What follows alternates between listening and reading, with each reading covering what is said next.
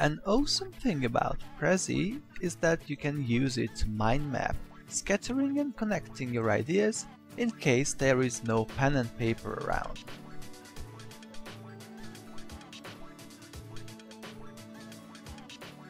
Simply plot the main idea, throw related ideas around it, use the lines to highlight and connect, play with font sizes, let your imagination loose.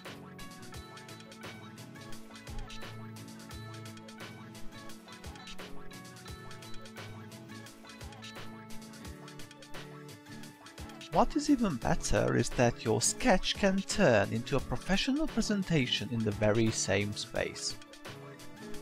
The structure is like before, but the shape is more serious.